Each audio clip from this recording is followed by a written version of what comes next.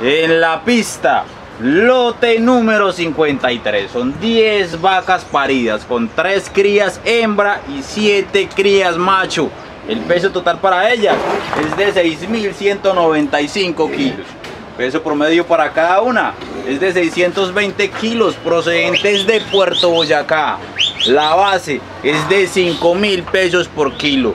Pesadas a las 2 y 42 de la tarde. Lote número 53.